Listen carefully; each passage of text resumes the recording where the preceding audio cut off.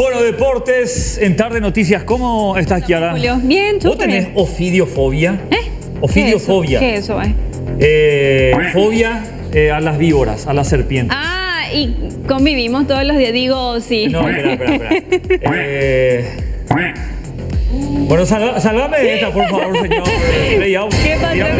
eh.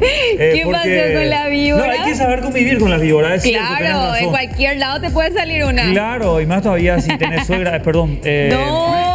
No, fíjate lo que le pasa a este árbitro que al parecer eh, Eh. convive permanentemente con las eh, serpientes, convenzcamos que lugar en donde animales reptiles. Era un partido en el fútbol del interior. Qué ¿Y qué hace el miedo. asistente? Mira, eh, dobla su banderín y después se va, agarra un palo y le quita a la víbora la que estaba en pleno campo de juego. Mamá. No, yo ni cagando, o sea, con el perdón de la palabra, jamás haría esto.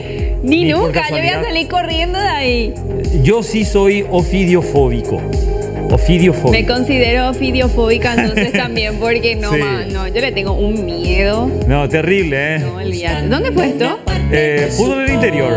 Eh, habría que buscar un poquito los datos exactos, pero No, no, no, se viralizó a través de las redes sociales y, y bueno, me pareció interesante para mostrar un poquitito. Pero la verdad que mira que el lugar, o sea, no es por, por, por No, eh, desmeritar ni nada, pero se nota que es un campo Eh, bastante Porque hay un, de- frondoso. hay un descampado detrás del arco, Claro. ¿verdad?